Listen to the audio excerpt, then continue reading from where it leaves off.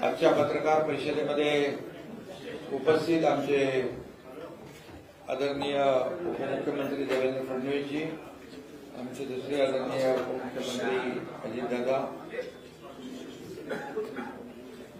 कृषी मंत्री धनंजय मुंडे आणि संजय बनसोडे आणि दीपक केसर दीपक केसरकरजी आणि उपस्थित सर्व पत्रकार मित्रांचं मनापासून स्वागत करतो आणि आपल्या सगळ्यांना शुभेच्छा देतो.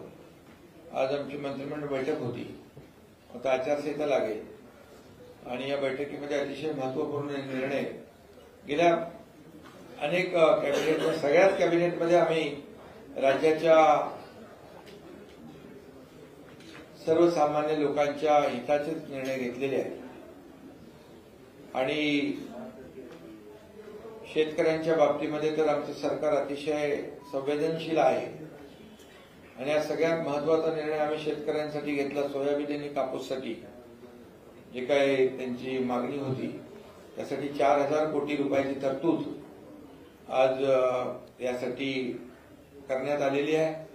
आणि जे काही जितकी जमीन ज्यांची आहे त्याप्रमाणे तो आकडा मागे पुढे होईल. परंतु सोयाबीन आणि कापूस याच्यामध्ये शेतकऱ्यांना दिला. भावांतर पद्धतीने देण्याचा निर्णय आम्ही सरकारने घेतलेला आहे. आणि नक्कीच याचा दिलासा शेतकऱ्यांना मिळेल. शेतकरी हा केंद्रबिंदू मानून आमचं सरकार गेले अनेक वर्ष काम करते. ते बाकी निर्णयामध्ये मी जाऊ इच्छित नाही. म्हणजे जेव्हा जेव्हा नुकसान झालं त्या त्यावेळी अतिवृष्टी अवकाळी गारपीट आम्ही नियम सगळे बाजूला ठेवले. आणि नियमाच्या दुप्पट जाऊन त्यांना मदत केली. दोन हेक्टरचं आम्ही तीन हेक्टर केलं. मुद्दाम आपल्याला एक थोडी पार्श्वभूमी आम्ही सांगतो. एक रुपयामध्ये पीक विमा दिला. सततच्या पावसाचं नुकसान धरलं जात नव्हतं. ते आम्ही धरलं. आणि जवळपास आतापर्यंत शेतकऱ्यांना नुकसान भरपाई आणि विविध योजनांच्या माध्यमातून गेल्या दीड पावणे दोन वर्षामध्ये आमच्या सरकारने पंचेचाळीस हजार कोटी रुपये शेतकऱ्यांसाठी आतापर्यंत तरतूद केलेली आहे.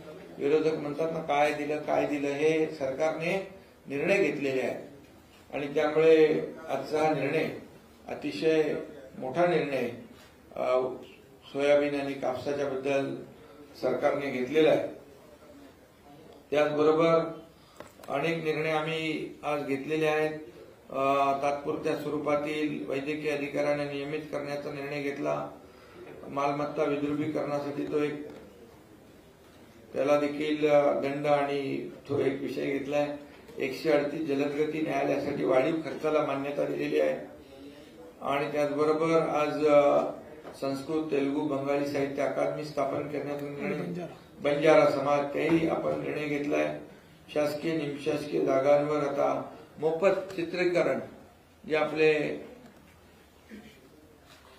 कलावंत आहेत सिनेमा आहे त्यांचा त्याला देखील आम्ही मोफत चित्रीकरण करण्याचा निर्णय घेतलाय. विणकर समाजासाठी आर्थिक विकास महामंडळ त्याला पन्नास कोटीची तरतूद केली आहे. त्याचबरोबर संत भोजलिंग सुतार समाज आर्थिक विकास महामंडळ तेही स्थापन करण्याचा निर्णय घेतलाय. पुण्यश्लोक अहिल्यादेवी महाराष्ट्र शेळी मेंढी विकास महामंडळाच्या भाग भांडवलात देखील भरीव वाढ करण्याचा निर्णय घेतलाय. हाताने महिला उचलण्याच्या प्रथेचे उच्चाटन करण्याच्या दृष्टीने रोबोटिक स्वच्छता यंत्रे असलेली मॅन होलकडून मशीन होलकडे यो- जाणारी योजना त्याचा देखील आम्ही आज निर्णय घेतलाय. संगणक गुन्हे तातडीने निकाली काढण्याचा निर्णय घेतलाय. त्यामध्ये सेमी ऑटोमॅटेड प्रोसेसिंग प्रकल्प गृह विभागाच्या माध्यमातून राबवला जाईल. राज्य पोलीस दलात आर्टिफिशियल इंटेलिजन्सचा वापर करण्याचा निर्णय घेतलेला आहे. ऑटो रिक्षा टॅक्सी चालकांसाठी कल्याणकारी महामंडळ स्थापन करण्याचा निर्णय घेतलेला आहे. त्याला एक वेळचं भाग पन्नास कोटीचं एक अनुदान तरतूद केलेली आहे. त्याचबरोबर बुलेश्वरची जागा आपल्या जिमखान्यासाठी जैन इंटरनॅशनल ऑर्गनायझेशनला देण्याचा निर्णय आम्ही घेतला आहे. त्याचबरोबर संगणक न्याय सहाय्यक वि- विज्ञान उत्कृष्टता केंद्र म्हणजे गुन्ह्यांची वेगाने उकल व्हावी फॉरेन्सिक लॅब तो देखील आम्ही निर्णय घेतला आहे. वृद्ध साहित्यिक कलाकार जे आहे त्यांना अतिशय कमी अनुदान होतं मानधन होतं म्हणजे अडीच हजार होतं एकवीसशे होतं तेहतीसशे होतं त्यांना आम्ही सरसकट पाच हजार रुपये मानधन करण्याचा निर्णय आम्ही घेतलेला आहे. त्याचबरोबर संगणक परिचालक जे आहेत ग्रामपंचायतीवर काम करणारे अ, वीस बावीस हजार जी मुलं आहेत त्यांना देखील आम्ही तीन हजार रुपये मानधनामध्ये वाढ करण्याचा निर्णय घेतलेला आहे. त्यामुळे असे अनेक निर्णय आज सरकारने घेतलेत आणि गेल्या काही कॅबिनेटमध्ये देखील आपण पाहिले ते ते निर्णय आपल्याकडे आलेले आहेत. परंतु आज ही शेवटची कॅबिनेट आचारसंहितेच्या अगोदरची याच्यामध्ये देखील आम्ही शेवटपर्यंत म्हणजे मी आपल्याला आठवण करू देऊ इच्छितो. सुरुवातीला मी आणि देवेंद्रजी दोघांनीच आम्ही शपथ घेतली होती. आणि दोघांनी कॅबिनेटमध्ये आम्ही दोघंच होतो दादा.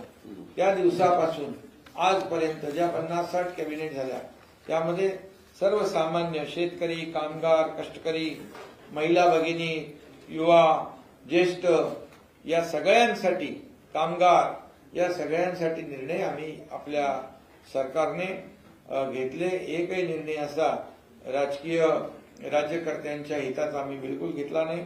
आम्ही सर्व निर्णय सर्वसामान्यांच्या हिताचे जनतेच्या हिताचे लोकांच्या जीवनामध्ये बदल घडवणारे लोकाभिमुख असे निर्णय घेतलेले आहेत. त्यामुळे आजची देखील कॅबिनेट लोकांच्या हिताचे निर्णय घेण्याची होती पीएम साहेब तुम्ही सगळ्या गोष्टी घेतल्या बरोबर आहे पण तुमच्याच कार्यकाळामध्ये मराठा आरक्षणाचा मुद्दा फार गाजला राजकीय तरतुदी आंदोलन राहिले आज त्यांची एक भूमिका आली की शेवटच्या मंत्रिमंडळापर्यंत किंवा आजच्या आचारसंहिता लागेपर्यंत सगळी सोडीबाबतचा जर निर्णय झाला नाही तर महायुतीला याचे परतफेड करावी लागेल. अशा स्वरूपाचा इशारा देणं नाही यामध्ये एकच आमची भूमिका पहिल्या अगोदरपासून सरकारची स्पष्ट होती की मराठा समाजाला टिकणारं कायद्याच्या चौकटीत बसणारं आरक्षण देतो आणि ओबीसी समाज इतर समाज कुठल्याही समाजाला धक्का न लावता हे आरक्षण देण्याचा आमचा निर्णय आणि आमची भूमिका होती. त्या- ती आम्ही तो निर्णय विशेष अधिवेशन घेऊन आम्ही तो निर्णय घेतला. आता त्यामध्ये जे मुलांना फायदाही होऊ लागलाय. मराठा समाजाचा त्या दिवशी आम्ही आपल्याला सांगतो की सव्वीस फेब्रुवारीला आरक्षण लागू केलं रात्री बारा वाजता. आणि सत्तावीस तारखेला बिंदू नांबोलीचा जी आर काढला. एसीबीसी प्रमाणपत्र देण्याचा प्रक्रिया युद्ध पातळीवर सुरू आहे. आणि आता जी भरती होतीये त्यामध्ये भरतीमध्ये देखील हे तरुण उभे राहत आहेत.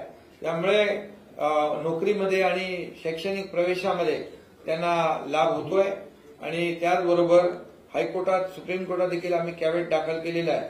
काही सहा सात लोक हायकोर्टमध्ये रिट पिटिशनमध्ये गेलेले आहेत पण हायकोर्टाने कोणाला स्टे दिलेला नाही.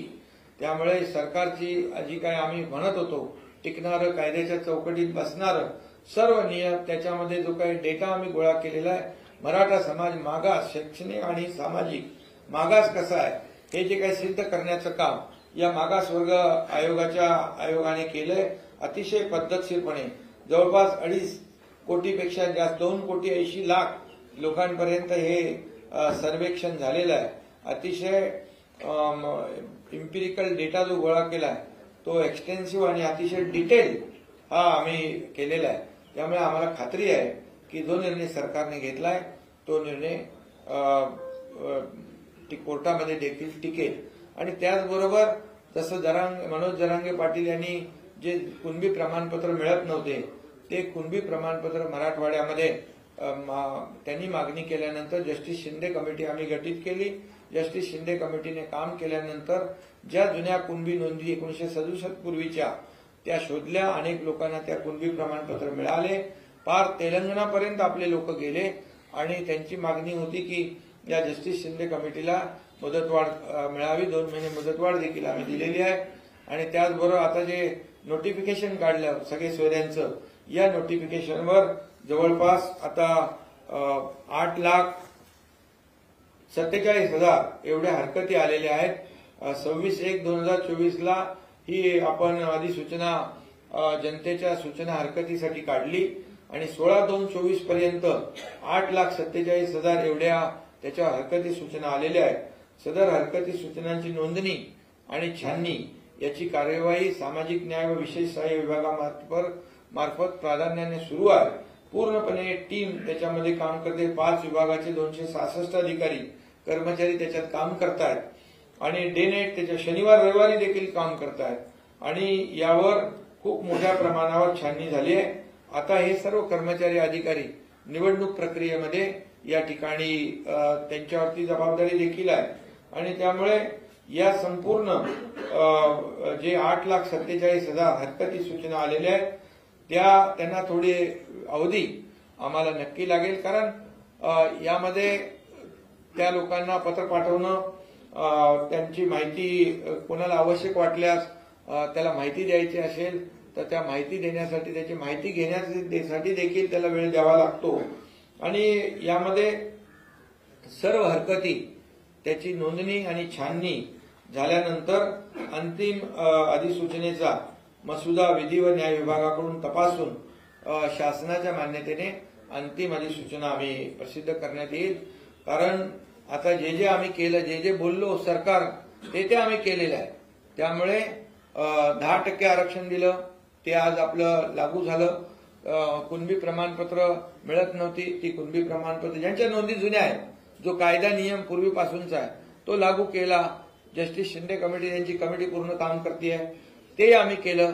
आणि त्याचबरोबर हे अंतिम नोटिफिकेशन जे आहे सूचना हरकती आल्यामुळे घाई गडबडीमध्ये जर कुठला निर्णय घेतला तो ते टिकणार नाही. आम्ही कुणालाही फसवणार नाही. हे पहिल्यापासून आमचं मत आहे. जाहीरपणे आम्ही सांगितलं. जाहीरपणे शिवाजी महाराजांची शपथ घेतली. जाहीरपणे आम्ही विशेष अधिवेशन घेतलं आणि आरक्षण दिलं.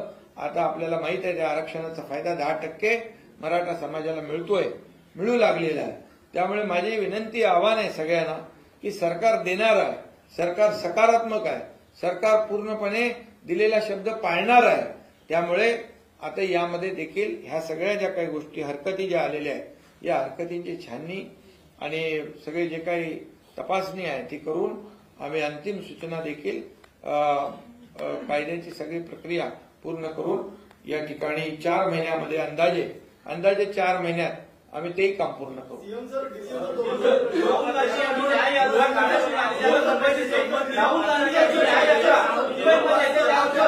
एक एक मिनिट एक जण बोलला तर आम्ही काय पळून थोडी चाललोय पुन्हा एकदा एक एक- एक- एक मिनिट जरा एकदम क्लिअर क्लॅरिटी येऊ द्या पुन्हा एकदा मी सांगतो मनोज जरांगे पाटील यांनी आता आम्ही जे सरकारने केलेलं काम त्यावर त्यांनी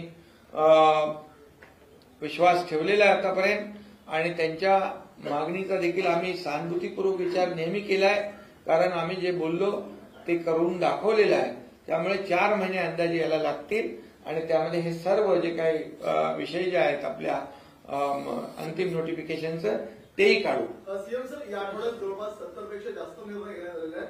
ही शेवटची सरकारची कॅबिनेट बैठक आहे न्यूज एटीन नेटवर्कचा एक मोठा महाओपिनियन पोलचा सर्व्हे आलेला आहे आणि या सर्व्हेमध्ये महायुतीचा बोलबाला आहे. जवळपास अठ्ठेचाळीस पैकी एक्केचाळीस जागा या महायुतीला मिळणार आहेत. अवघ्या सात जागा या फक्त इंडिया आघाडीला मिळणार सीएम सर आणि डीसीएम सर दोघांकडून उत्तर अपेक्षित नाही बघा काम केले आम्ही. गेल्या अडीच वर्षामध्ये मागच्या हे बंद पडलेलं सरकार सरकार होतं. घरी बसलेलं सरकार होतं. एक ने- पूर्णपणे निगेटिव्हिटी या राज्यामध्ये पसरलेली होती. आणि घरी बसून आणि फेसबुक लाईव्ह काम नाही होत लोकांमध्ये जावं लागतं लोकांना निर्णय घ्यावे शासन आपल्या दारी महिला सक्षमीकरण शेतकऱ्यांचे निर्णय पाचशे निर्णय घेतलेत आम्ही मग लोक निर्णय घेणाऱ्यांच्या बाजूने निकाल देतील का घरी बसलेल्यांच्या बाजूने देतील त्यामुळे एक्केचाळीस नाही त्याच्यापेक्षा जास्ती आमच्या जागा पंचेचाळीस येतील सर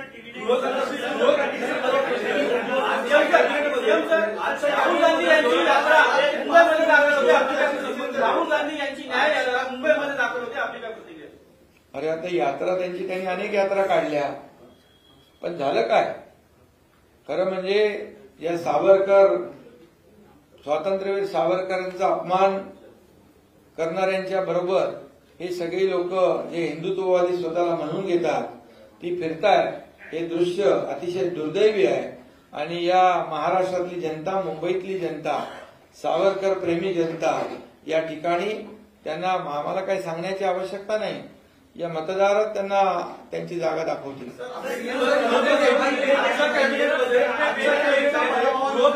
चार ते पाच निर्णय झालेले आहेत. याच्या आधी एनसीआरबी जो डेटा केला होता महाराष्ट्रातल्या इन्क्रीज क्राईम रेटचा ते पाहता हे निर्णय घ्यायला उशीर झाला असं वाटत नाही का? त्यामध्ये एआयचा सुद्धा समावेश. पहिली गोष्ट पुन्हा एकदा समजून सांगतो एनसीआरबीचा डेटा वाचायला शिका. एनसीआरबीचा जो डेटा असतो त्याचं अनालिसिस प्रति लाख लोकसंख्येच्या आधारावर करायचं असतं. अनेक वेळा आपण त्याचं अनालिसिस ॲब्सोल्यूट नंबरमध्ये करतो. गोव्याची लोकसंख्या आणि महाराष्ट्राची लोकसंख्या याच्यामधला फरक आणि ॲब्सोल्यूट गुन्ह्यांमधला फरक हा निश्चितपणे राहणार आहे. त्यामुळे मला असं वाटतं की सगळ्याच मानकांवर एनसीआरबी रिपोर्टमध्ये महाराष्ट्र जो आहे हा कुठेही टॉपवर नाही आहे किंवा सगळ्यात जास्त गुन्हे होतात असं नाही आहे तर साधारणपणे अनेक राज्यांपेक्षा लोकसंख्या जास्त असताना देखील तो मागे आहे. आज जे निर्णय झालेले आहेत त्याच्यामध्ये प्रामुख्याने आपल्याला कल्पना आहे की केंद्र सरकारने तीन कायदे तयार केले. आपली जी इंडियन पिनल कोड होता भारतीय दंड संहिता होती त्याला भारतीय न्याय संहिता केलं सीआरपीसीला नागरी संरक्षण कायदा किंवा अधिनियम म्हणून त्या ठिकाणी करण्यात आलेला आहे. आणि एक राष्ट्रीय आपला जो एव्हिडन्स ऍक्ट होता त्याला देखील परिवर्तित करण्यात आलाय. आणि हे तीन कायदे करताना केंद्र सरकारने आता याच्यापुढे जुलैपासनं सगळ्या मोठ्या क्राईममध्ये फॉरेन्सिक एव्हिडन्स हा कंपल्सरी केलेला आहे. आणि म्हणून आज आपण आपली जी काही फॉरेन्सिकची कॅपॅसिटी आहे ती कॅपॅसिटी तर वाढवलीच आहे पण त्याच्यामध्ये सेंटर ऑफ एक्सलन्स आपण तयार करतो आणि आता एवढ्या मोठ्या प्रमाणात फॉरेन्सिकच्या केसेस आल्यानंतर ऍडिशनल मशिनरी आपल्याला लागेल. त्याची तयारी आपण पूर्ण करतो. त्याचा पहिला पायलट प्रोजेक्ट आपण नवी मुंबईला ऑलरेडी सुरू केलेला आहे. त्यामुळे मला असं वाटतं की सगळ्यात पहिल्यांदा या नवीन कायद्याप्रमाणे तयारी आपण केली आहे. आणि दुसरं आर्टिफिशियल इंटेलिजन्सच्या संदर्भातही महाराष्ट्र पहिलं राज्य आहे की जे क्राईम कंट्रोल करता आर्टिफिशियल इंटेलिजन्सचं सेंटर ऑफ एक्सलन्स सुरू करत आहे. की ज्याच्यामध्ये हे पब्लिक प्रायव्हेट पार्टनरशिपमध्ये आहे. याच्यामध्ये इंडियन इन्स्टिट्यूट ऑफ मॅनेजमेंट आहे. त्याच्यामध्ये प्रायव्हेट सर्व्हिस प्रोव्हायडर्स आहेत आणि सरकार आहे. असं म्हणून आपण त्या ठिकाणी हे एआयचं सेंटर उघडलेलं आहे. त्यामुळे मला असं वाटतं उशीर नाही झाला. आपण इतरांपेक्षा आधी हे करतोय. सगळ्यात पहिलं महाराष्ट्र. हिंदी सवाल है आज थोड़ा कंटेंट लागू होने के पहले अरे हिंदी सम- समजू आता मराठी होतं सगळेच आकडे वेगळे येत आहे समाजकाला एका सर्वेमध्ये अठ्ठावीस जागा दाखवलेल्या आहेत आणि महाविकास आघाडीला वीस जागा असं आहे आम्ही आम्ही सगळ्याच आकड्यांचा सन्मान करतो. सगळ्याच जेवढे ओपिनियन पोल आहेत त्यांचा सन्मान करतो. पण आमचं देखील काही अनुभव आहे आमचंही काही एक्सपिरियन्स आहे. त्याच्या आधारावर आम्ही तुम्हाला एवढंच सांगतो की ज्यावेळी निकाल येतील मागच्या दोन निवडणुकांमध्ये महायुतीला जेवढ्या जागा मिळाल्या त्यापेक्षा जास्त जागा महायुतीला मिळतील कमी जागा मिळू शकत नाही.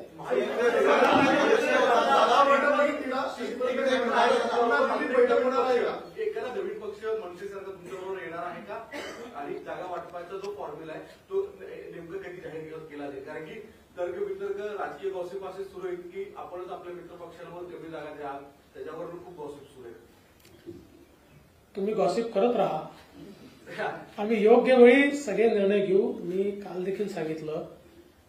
ऐंशी टक्के पेपर सोडवलेला आहे. वीस टक्के प्रश्न बाकी आहेत.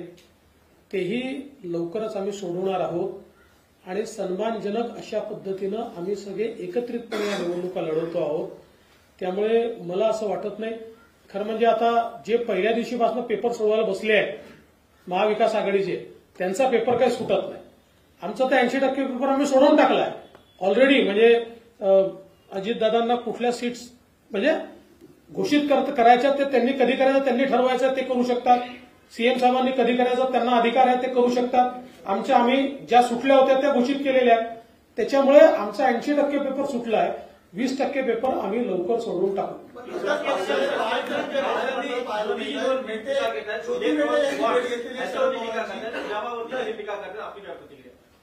कशावर? इलेक्ट्रॉन बॉन्ड रोखे जे निधी आहे नाही आता त्यांना कसं आहे त्यांना कुठला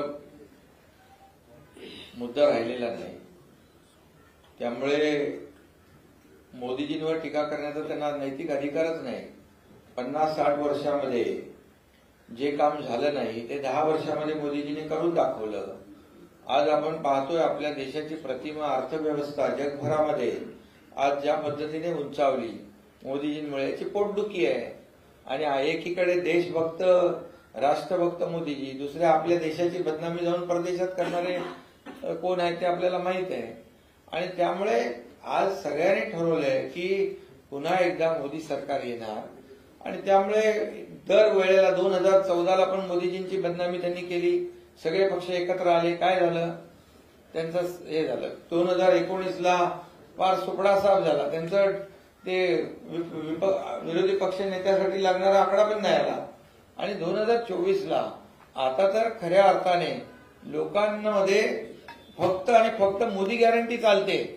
आता लोकांनीच ठरवलंय लोकांनीच गॅरंटी दिली दिलेली आहे की विकास करायचा असेल आपल्या देशाला महासत्तेकडे न्यायचा असेल आपल्याला आर्थिक महासत्ता बनायचा असेल तर मोदीजींशिवाय पर्याय नाही. अरे असा कुठला प्रधानमंत्री तुम्हाला मिळेल की एक दिवस पण सुट्टी नाही घेतली? परदेशात जाऊन तिकडे किती वेळा म्हणजे परदेशात जाणारे लोक सुट्टी आणि हे घेणारे. आता इथं तुम्ही तुम्ही कोणाची तुलना करताय? आणि इकडे निर्णय लोकांनी घेतलेला आहे देशातल्या की मोदीजींशिवाय पर्याय नाही आणि मोदीजी फक्त आपलं आपला देश जगभरामध्ये कसा नंबर एकला येईल? यासाठी त्यांचे प्रयत्न आहेत. आता देशात नाही जगामध्ये मोदीजींची पॉप्युलॅरिटी किती नंबरला आहे? एक नंबरला आहे. आणि हे सगळं टीका पोटदुखी आहे. आणि तेव्हा टीका टिप्पणी चालू आहे. आणि दुसरीकडे त्यांनी अजित पवारांवर इशारा साधलाय की मोक्का संदर्भाचे त्यांनी वक्तव्य पुण्यामध्ये नाण्यासंदर्भात तर कुठेतरी गुन्हेगारांना पाठीशी घालण्याचं काम सरकार करतंय का? असे आरोप आहे पहिला तर मी तुम्ही जो पहिला प्रश्न विचारला काल याच्यावर गृहमंत्री महोदयांनी आकडेवारीसहित स्पष्टीकरण दिलं. एकूण सगळ्यांना मिळून जे बॉन्ड्सचे पैसे मिळाले त्यातले तीस टक्के पैसे भाजपला मिळाले आहेत आणि सत्तर टक्के पैसे इतर सगळ्या पब्लिक पार्टींना मिळून मिळालेले आहेत.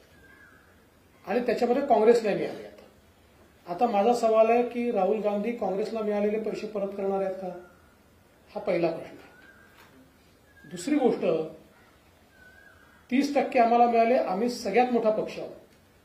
देशामध्ये आमचे तीनशे तीन खासदार आहेत देशात सर्वात जास्त आमदार आमचे आहेत अकरा कोटी आमचे सदस्य आहेत. तरी आम्ही तीस टक्क्यावर आहोत आणि बाकी सगळे म्हणून सत्तर टक्क्यावर आहेत. आणि मग हे जे सत्तर टक्के पैसे मिळाले हे कोणाला धनकावून मिळाले? खरं म्हणजे सगळ्यात महत्वाचं आहे की सुप्रीम कोर्टाचा निर्णय आहे त्याच्यावर टिप्पणी करायची नाही. पण एक गोष्ट लक्षात घेतली पाहिजे जे पैसे बॉन्ड्समध्ये कंपन्यांनी दिले ते त्यांना त्यांचे चेक आरबीआयला देऊन विकत घ्यावे लागतात. त्यामुळे ते अकाउंटेड पैसे आहेत. त्यांच्या बॅलन्स शीटमध्ये ते दाखवावे लागतात. त्यामुळे बॅलन्स शीटमध्ये अकाउंटेड झाले. ज्या राजकीय पक्षांना मिळाले त्या राजकीय पक्षांना आपल्या बॅलन्स शीटमध्ये दाखवावे लागतात. आणि त्या बॅलन्स शीट पब्लिकली इलेक्शन कमिशनच्या वेबसाईटवर अवेलेबल असतात.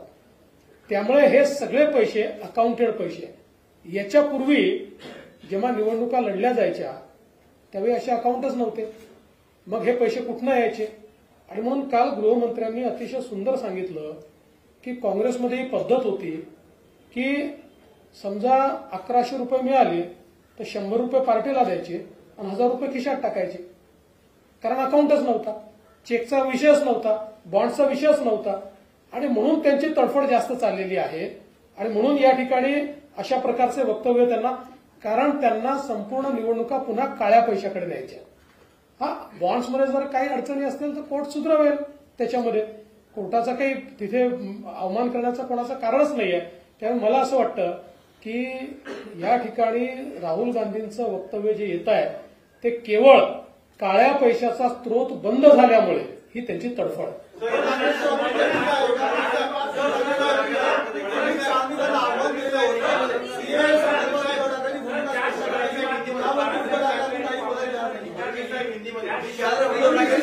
अमित शहानी उत्तर टाकलेलं आव्हान दिलं होतं. ती भूमिका स्पष्ट न करता ते भाजपवर सातत्याने टीका करतायत नेमकं कशामुळे?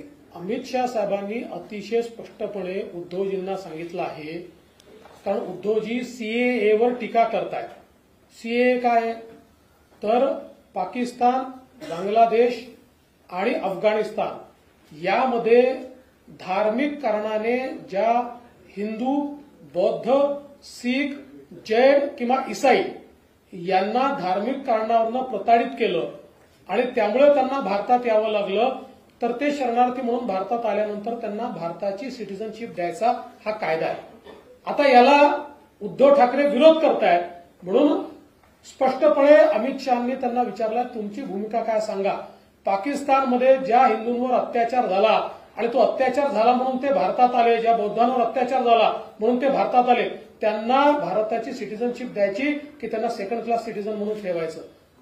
याचा उत्तर हे उद्धव ठाकरेंना द्यावं लागेल पण ते देऊ शकत नाही. कारण आता उद्धव ठाकरे हे सुडो सेक्युलर झाले आहे ते आता तुष्टीकरणाच्या नीतीमध्ये गेले आहेत. कारण त्यांना आता एक विशिष्ट वोट बँक पाहिजे आहे. त्या वोट बँकेकडे त्यांचं लक्ष आहे. बाळासाहेबांची भूमिका बाळासाहेबांची भूमिका त्यांनी बदलली.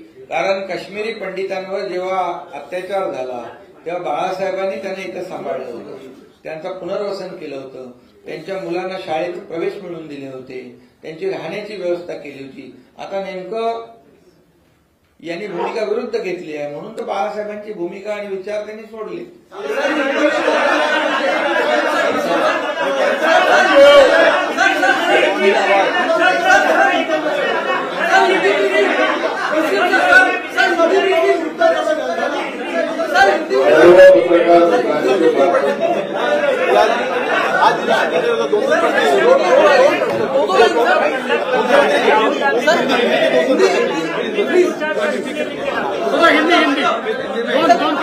दो प्रश्न खाली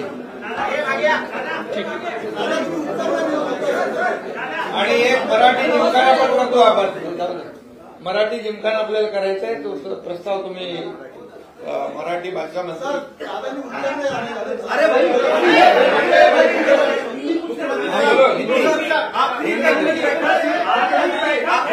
आपकी सरकार ने आपकी सरकार ने कई सारे